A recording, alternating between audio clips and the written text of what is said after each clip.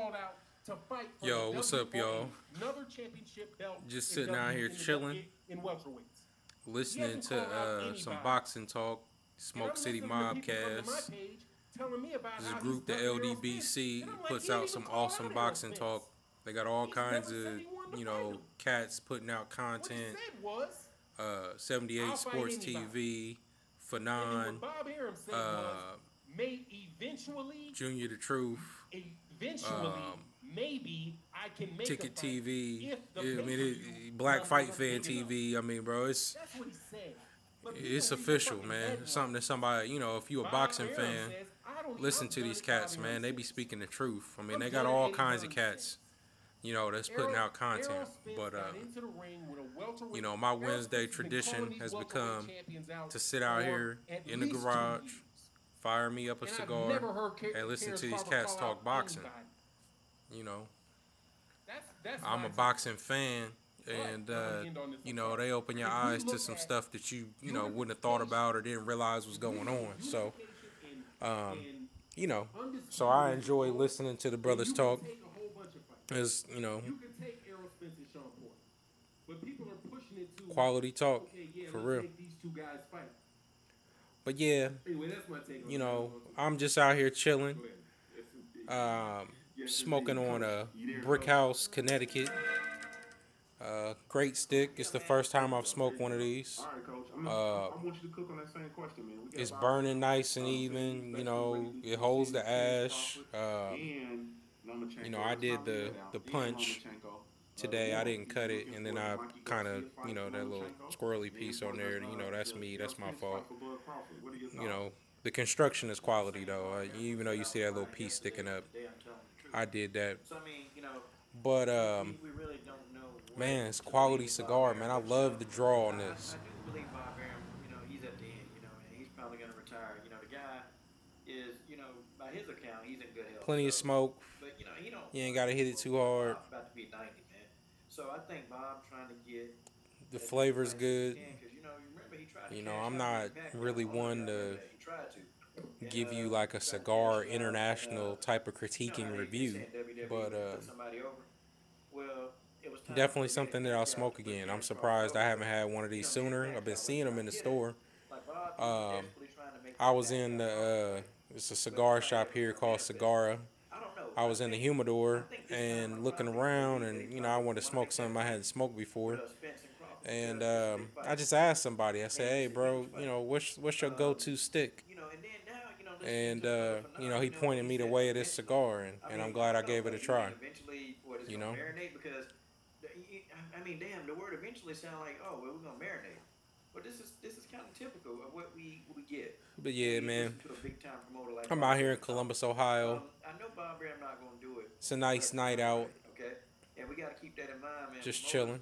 You know, long day at work. Their job is not to win friends and influence. I ain't got a whole lot to talk Their about. job is to make money. It's funny that I got a YouTube channel where you can't do nothing but really talk to people.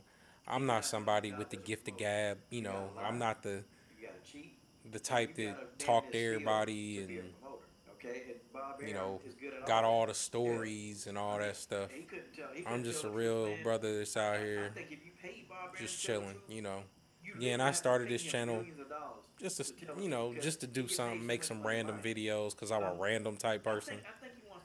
Um, I think he wants to fight, but you know, you my know, question I ain't got no goals. do Bud really, I ain't got no uh, you know, do Errol, do you Errol know, Spence believe the no fight's gonna happen? specialty. You never know what you're gonna see me talking, about on here. talking Like, well, You know. yeah, I, I really don't believe the fight gonna happen. See, I, I don't, I didn't, I didn't see it as Bud.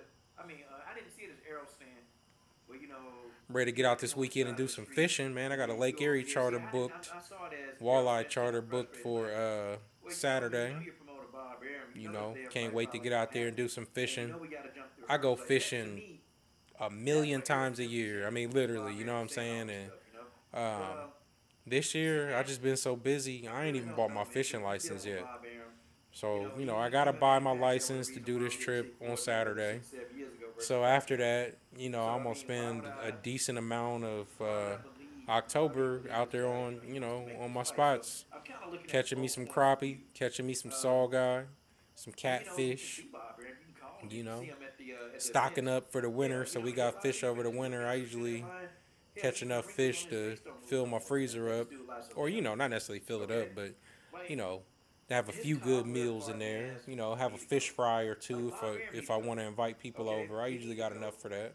And we need to So, get a in there that's You know, that's what I'm looking to do, man. See, I got like Al Haymon. This is why Haymon good for boxing, man. You have to excuse me. I'm out here chilling, man. Got random people pulling up at the corner, just sitting sitting at the stop Berto, you know, he sign, street dead ends into my house. So you know, You know, making us all fight each other. I don't live in a bad area, yeah, but you gotta watch people, man. You don't know what forced these dudes motherfuckers be up to. You feel me? So, this is why Al Haymon is good for boxing. But we know why Haymon ain't good for boxing according to these people, because you know Haymon's a black guy. We know that, okay? And we know that Bob Arum will get a pass for not booking this fight ASAP. Okay, yeah, man. Fight, but, you know, do I just want to pop on real quick, You know, sometimes I, I say a few words say, to the you know, people. Hey, You know. Bob Arum old ass. Like, we need to put the pressure on this. These cats is going in, going in on the the pressure needs to be mobcast, man. 20 I mean, every time these guys go to social media, every time Keeping they it real. Google, man, every time they're in the bathroom taking a I don't know if y'all can hear them in the they need to be background or what. About us wanting them to fight each other. They need to be thinking about us. Okay, brushing their teeth. They need. It need to be a a a, a, a, bottle of 78 Sports TV toothpaste. Hey man, still gotta fight Bud. hey man, still gotta fight Errol. Okay, I mean, you know, okay, more power to Bob. I don't know. Okay, more power, but One of the things, one of the things they've been talking about we gotta stop the BS. is Mayweather coming back and stealing everybody's shine. You know, the young up and coming fighters. And I've always been somebody, you know, to support Mayweather and buy his pay per views and all this and that. But um, you know, he gonna come back and fight Pacquiao again. It's gonna be the same result as the first time. You know, and, and he's choosing to come back a time that he usually doesn't fight. You know, he's gonna come back in December and fight. He usually fights in May or September. Uh, Deontay Wilder was supposed to fight um, Tyson Fury in December. They ain't announced the date yet, but um, you know, I mean, I, I don't I don't understand why Floyd would do that. And it's a short turnaround. I mean, what it's it's almost October, and you know they're gonna jump out and do a hundred dollar pay per view right before Christmas or something like that. They lost so much money. Guys, it's the You know, and I gotta be real. If if I'm choosing between Affect the bottom ordering line and we get what we want. Mayweather or ordering Deontay Wilder and Tyson Fury, Are we literally gonna do it I'm finna or are we gonna order Deontay Wilder and Tyson I mean, Fury. I'd be more interested in that than than watching Mayweather, you know, dance around and uh, play with Pacquiao. You know what I'm saying? Even if he slowed down, I'm. I'm still confident that Floyd gonna put a whooping on Pacquiao, or you know Pacquiao ain't gonna be able to hit him and all this and that. You know, and I like Floyd, so I'm not a Floyd hater. You know, again, I I've been supporting Floyd. First pay per view I ordered was uh, Floyd Mayweather and Oscar De La Hoya. You know, that was the first time I had my own crib and um, you know wanted to order a fight, and I I've ordered every single fight since then. Floyd Mayweather. You know, and I order some others. You know, I like to support boxing where I can, and I'm a boxing fan. And you know, here in Columbus, Ohio, not a lot of people show the fights. Um, you know, unless it's Pacquiao or Mayweather, you you're really not gonna see the fight anywhere around here. I don't know why, man. If I had a bar or something like that, um, that's what I would do, man. You know, I mean, get people to come out, and you you gonna make your money back. You know, it, Columbus is weird, man. You you can't spend a hundred dollars at one of these venues, B Dubs, you know, in some wing spot, some restaurant, the casino, to show the fight, get people in there and make your money back. I mean, I just don't get it, man. Every they they show every damn UFC pay per view.